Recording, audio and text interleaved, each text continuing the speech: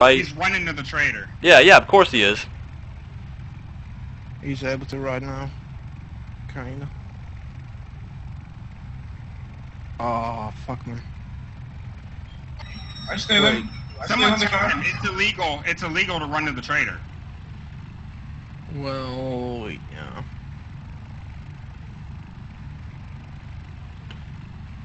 Oh boy.